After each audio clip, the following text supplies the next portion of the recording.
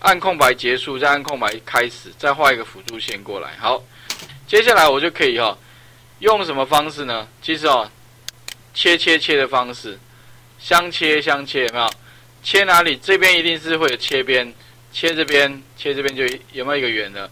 再按右键相切，相切相切，有没有？然后一定会跟这个切，然后也会跟这个边切，一定也会跟这个边切，对不对？就一个切，再按右键重复嘛。它一定会切这里，也会跟它切，也会跟这一条线切，这样就好了，对不对？好了以后的话呢，那另外其实也都一样，只是说如果你要一直切哈，哇，你还有总共有这边还有这么多个，六个、七个，很花时间。最快的方式用什么呢？环形阵列就好了嘛，因为呢，你以这个为中心嘛，这三个再转一次，不就是环形的吗？对不对？所以接下来就是用环形阵列物件的话，你就把这三个圆，所以用什么呢？用窗选的方式实现的哦，选这三个就好了，按空白键。接下来的话呢，中心点就选这个焦点，有没有？点下去，然后呢，几个呢？